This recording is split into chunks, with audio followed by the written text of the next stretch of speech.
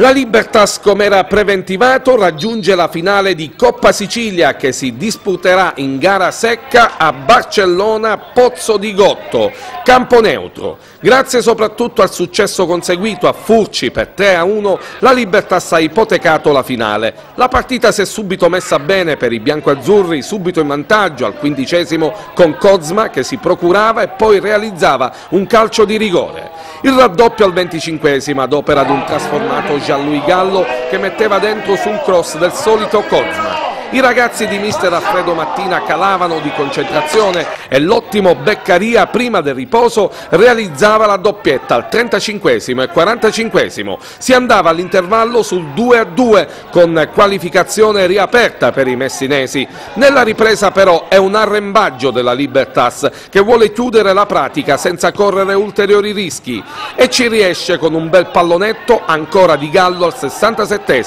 Alfredo Mattina ricorre al cambio sostituendo Kozma per Gabriele Russo. Il fantasista grottese riesce anche a segnare al 78esimo. Il Furci però riesce ancora ad andare a segno grazie ad una magistrale punizione trasformata da Beccaria per la sua tripletta personale. Un lusso in questa categoria.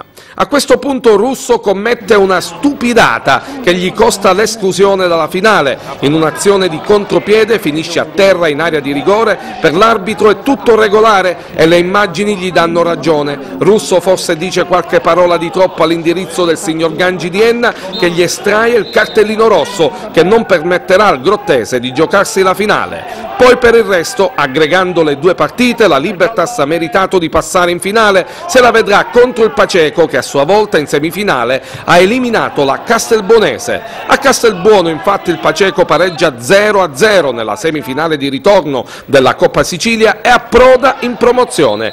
Il rosso-argento di mister Salvatore Minaudo, in virtù del 2-1 dell'andata conquistato al Giovanni Mancuso, si qualificano per la finale di Coppa Sicilia il 12 maggio.